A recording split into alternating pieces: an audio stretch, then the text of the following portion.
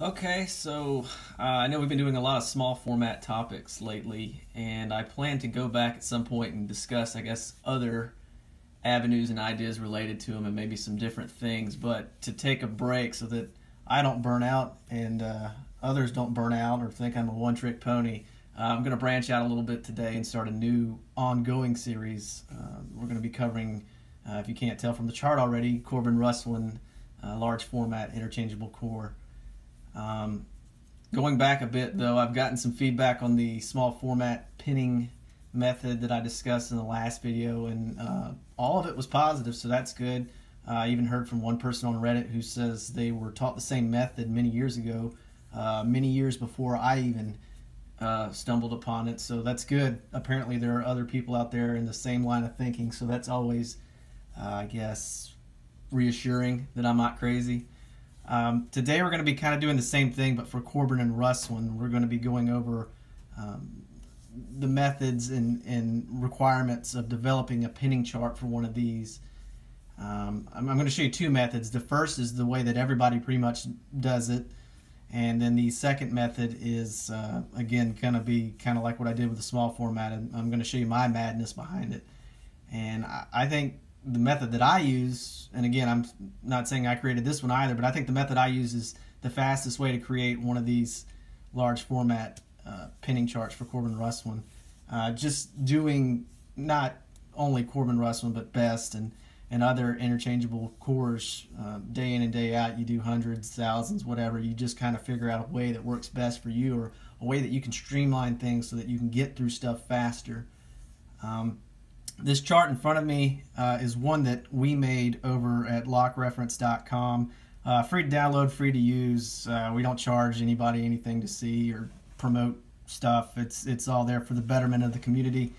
Um, this chart, you can go to lockreference.com. You click on Tools, uh, then you select Pinning Worksheets, and then the second tab is Corbin and Russwin, and that's where you're going to find this uh, this chart. It's the only one we've got really for them because uh, there's not much to these. Um, I mean, you don't, like I said, have to use this, but it's there for you. Um, in addition to the pinning chart grid array, whatever you want to call it, at the top, I've uh, we've also included uh, the combinating rules for it. Uh, it tells you how to determine your top, build up, master, if present, and the bottom pins, uh, depending on your key cuts. And then we even took it a step further. We gave you an example pinning chart. In this case, it's a uh, Z-Class System 70 uh, depth system. Uh, and there's some control top master key, which is TMK, and then the change key, and just kind of shows you how to go through it. Um, but I'm also going to show you how to do that today. Like I said, two methods. One's the way that I, I believe that most people are taught, and the, the second's the way that I do it. Uh, not saying one's better than the other. I'm just saying that the one I use is, I don't know, just works best for me. It makes me go faster. Uh, and one other thing we've got on the website, if you go to the library section and click on um, locks and then cores and cylinders, you've got the original uh, Corbin Russwin cylinder manual that A.J. Hoffman put together many years ago. And actually, I don't know if you can read this, uh, but this pinning chart, and actually the example that I'm going to show in this is, is straight from that book. Um, and, and I've adapted the rules that he, he mentions. And we're going to go through uh, first the method that he and Billy Edwards describe in core of the matter. And then I'm going to kind of show you, like I said, my method, which is pretty much like theirs, but it's one little nuance I think makes things faster. But we're going to show both methods. Uh, I don't want to sound like a broken record. Um, we're going to go over Corbin Russwin cores in greater detail when we pin one up. Um, but for now, I'm just going to show you a few items and minutia that matter as it relates to creating a pinning chart for them. Now, as opposed to small format, Corbin large format, uh, they have a control shear line that only exists in certain chambers. Uh, specifically, from the bow, uh, it's chambers 2, 3, 4, and 5. Um, and if you can see right here, uh, 6 pin is standard, but 7 pin cores are available. Uh, and that 2, 3, 4, and 5, which you can see I've got spaces for build up pin, those, those control chambers stay the same no matter if it's a 6 or a 7 pin core. Uh, for six pin cores, chambers one and six are keyed in a conventional manner.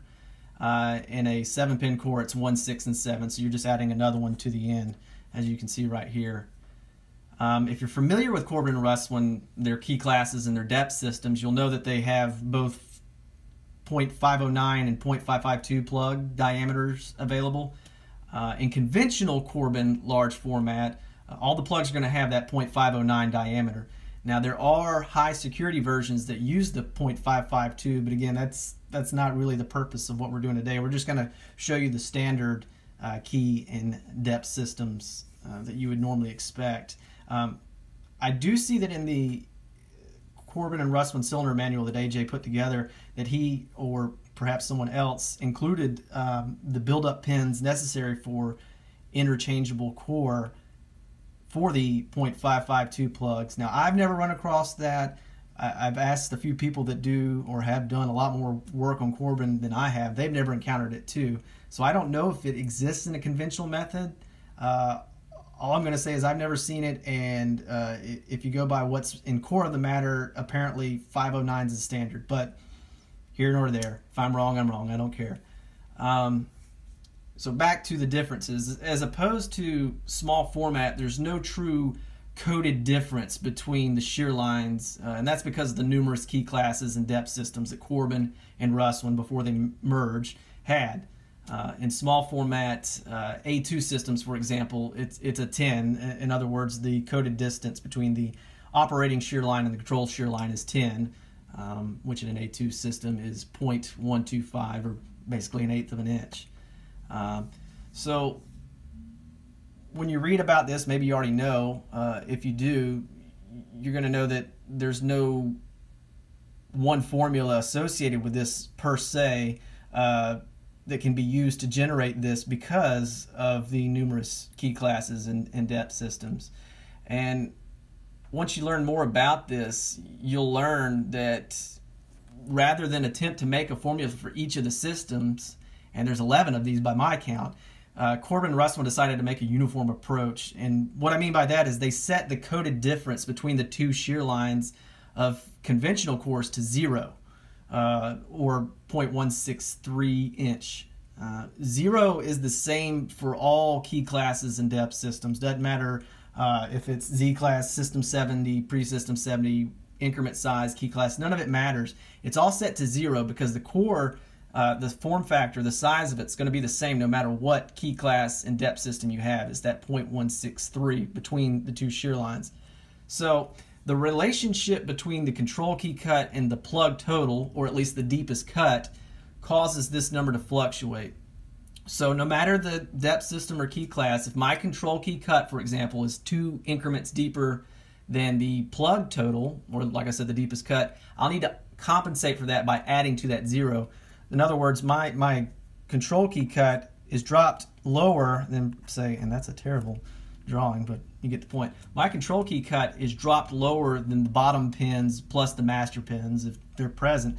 And so in order to do that, I need to add to that zero. Well, since zero is the basis, I need to add increments to that. And that's fully dependent on the uh, depth system. I mean, it could either be 0.014, 0.015, 0.028. They have a lot of them, but the point remains in order to uh, compensate for that distance, I need to add increments to that base or that uniform stack. Well, I'm sorry, not uniform stack, but that uh, uniform distance between the two. And I mean, if you think about it, it it's really genius um, because they're able to create it to where, like I said, throughout all the different key classes and depth systems, we don't have to learn 11 individual um, formulas. We only have to learn this one that we're going to do right now. Um, and I know I just went over a lot. If you're new to this, it's it's going to be maybe foreign or confusing or maybe even overwhelming. But I hope it'll make sense as we run through these charts. Um, but I just kind of wanted to point out the basis of it, and in my opinion, the genius of it. It, it this as opposed to small format or Sargent or Medeco, which doesn't even use build-up pins. Uh, I, I, think Corbin Russwin's the, the by far the easiest to figure out, pin up, and learn. Um, but that's my opinion. You know what they say about those. Um, but anyway, let, let's go ahead and start working through this and, and trying to show you uh, how this all works. Um, So for just like A2, the bottom and master pin are keyed up in the conventional method. That is, the shallower of the two cuts gets the bottom pin, and the difference is uh, between the shallowest and deepest cuts in a corresponding chamber. Uh, the difference gets accounted for in a master pin. So in, in, chamber one, we've got one and three. Well, one's obviously the shallowest, and we add two. That'll be our master to get to it. And the next one, we've got a two and a four. Two is the shallowest. We're going to add two to it. And the next one, we've got three and five. Three is the shallowest. Add to it. Two to it. Uh, the next one uh, is two is the shallowest, so we'll add two to get to the four, which is the deepest. Uh, again, we're just kind of going through basic master keying. Like I said in the last video, if, if, you're not familiar with this, you probably need to brush up on it because not only is this going to compound on the fact that you maybe don't know Corbin Russwin already, but if I'm throwing something else at you, it's, it's going to make things a lot more confusing. Um, so going back to this, I'm in the fifth chamber now, uh, two and six, which means two bottom, four master. And in the last one, we've got two and then four, so we had a two to get to it. So we've got our bottom pins uh, and master pins already figured up. Now, our chart we do for, for seven pins in case you ever ran into it, but if you're just using seven pins to avoid confusion, you just go ahead and cross these out since we're not going to be using it. Um, now for um, the build-up pins, the um, well, I guess we'll, we'll focus, finish up on the non-conventional ones. No matter uh, what your pin stack is or pin height is in the non-conventional chambers, you always use a 0.247 inch uh, top pin. Uh, that, that's standard across the board. Uh, Corbin also requires you to use not only for the conventional chambers but also the control chambers their own spring. Uh, part number for that, if you if you care, is uh, 172F21-7. Uh, we use them in the shop. We, we always try to follow manufacturer specification to the T if we can. Uh, if, I would advise you to do the same, but I will say if, if you truly wanted, you could use a conventional spring. Uh, we definitely pulled them apart where they've been used and, and appears to work. So uh, use at your own discretion. Now, in Core of the Matter, when they show you how to pin these up, they do what we just did first. They show you how to determine the bottom and master pin, and then go ahead and fill that out for the uh, corresponding boxes in the chart. Uh, the next thing they go towards is the build-up pin. And the way that they determine the build-up pin is in this, you have to carry this out exactly. It's the control cut, and I've got this already on here, but it's out of the frame, so you're not going to be able to see it. Control cut minus plug total. Now, there are examples of where such a formula will give you positive numbers as well as negative numbers. Now, this goes back to what I said about the coded difference between uh, the two shear lines being a zero. So, when you get a negative number, you're subtracting two increments. For example, if we got a, a, negative 2, we're subtracting two increments from that 0, and we'd have a negative 2 buildup pin. Uh, so in the first one, we've got, uh, in our first, rather, control chamber, uh, we have a 2, which is our control cut, 2 minus, and in the second one, it's the plug total. Uh, so I can either look at these uh, numbers, or I can just go ahead and add this up. So 2 minus 2 plus 2 is 4. So 2 minus 4 is going to get me minus 2. Okay, so because the control is two increments, um, I guess, higher, and you'll see that it can share the same cuts as the control, but I don't want to complicate things further, but if you figure that out, yes, that is fine, and yes, that will work. Um, but uh, in order to get to the control shear line, we're going to need, at least as it relates to the deepest cut being a 4, we need to take two increments off of that 0 to allow the control key to raise the pin stack right at the control shear line. Now we go into the second one, it's the same thing. Control cut is a 3 minus the plug total, which is 3 plus 2 is 5. 3 minus 5 gets us, again, negative 2.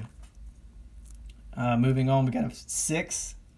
6 minus 2 plus 2 is 4. 6 minus 4 gets us plus 2. And, and then in the last one, we've got 3 minus the plug total of 4 and 2, which is 6. So 3 minus 6 becomes minus 3.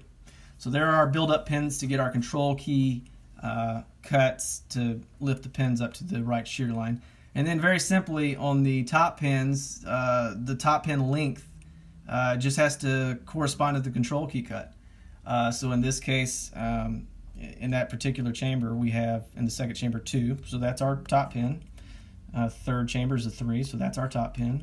Fourth chamber is six, so that's our top pin. And then the fourth chamber, I'm sorry, the fifth chamber is a three, so that'll be our top pin.